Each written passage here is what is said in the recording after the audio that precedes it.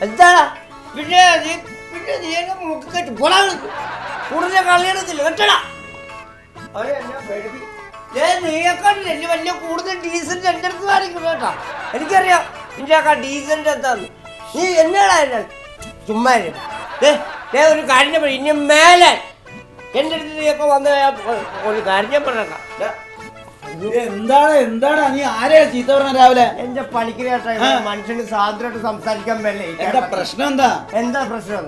ഞാൻ ആ ഷാപ്പിൽ പോയിരുന്നു. ഞാൻ സംസാരിച്ചു. സ്വല്പം ഇച്ചിരി ഒച്ച കൂടിപ്പോയി. ആ. അത് അപ്പൊ അവൻ വന്ന് എന്റെ അടുത്ത് പറഞ്ഞത് ഇവിടെ നിന്ന് വൃത്തിയോട് പറയല്ലേ ഇത് ഷാപ്പാണ്. അസംബ്ലി ഒന്നും സംഗതി ശരിയല്ലേ? അസംബ്ലിയേക്കാൾ അസംബ്ലിക്കാർ ഇപ്പൊ സ്റ്റാൻഡേർഡ് നമ്മുടെ ഷാപ്പുകൾക്കാ. ആ അതങ്ങനെ നീ ഷാപ്പുകളിൽ കണ്ടിട്ടില്ലേ? എഴുതി വൃത്തിയായിട്ട് സംസാരിക്കരുത്. അത് ഞാൻ വൃത്തിയൊന്നും സംസാരിച്ചില്ലല്ലോ. ഞാൻ കുറച്ച് രാഷ്ട്രീയമല്ലേ ആ സംസാരിച്ചു ഈ കള്ളക്കടത്ത് സ്ത്രീ പീഡനം അതുപോലെ പെൺവാണികം ഇതൊക്കെ വൃത്തിയായിട്ടല്ലേ ഇതെല്ലാം കൂടെ ചേർന്നതാണ് നമ്മുടെ ഇന്നത്തെ രാഷ്ട്രീയം.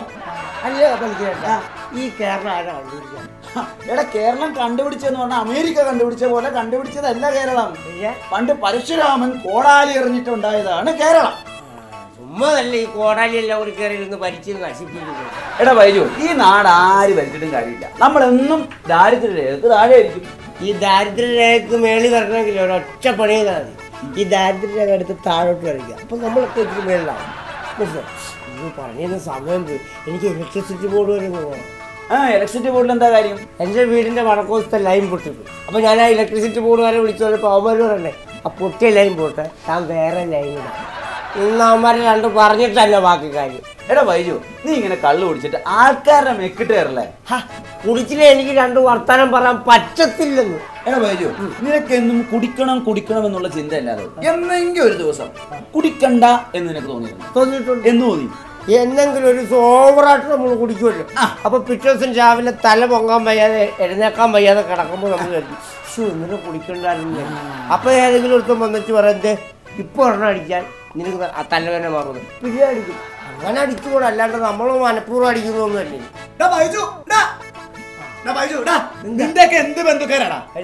സാമാന്യം വഴി ചോദിച്ചാലും പറഞ്ഞിട്ടുണ്ട് പണിക്കരട്ടെ പണിക്കരട്ടെ കേൾക്കും നമ്മുടെ കൂട്ടുകാരൻ സുധീഷിന്റെ വീട് ആലപ്പുഴയിലാണ്.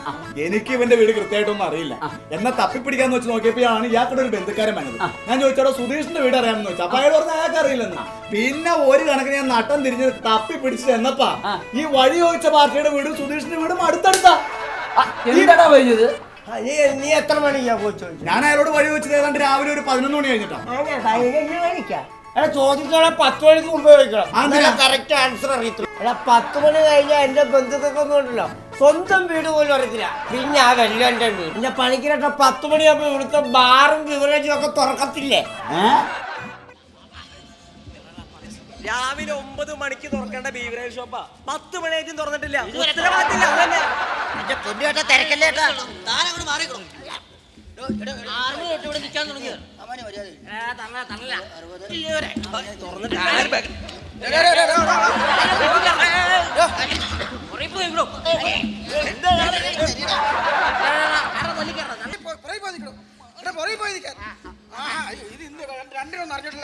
അതെയാ?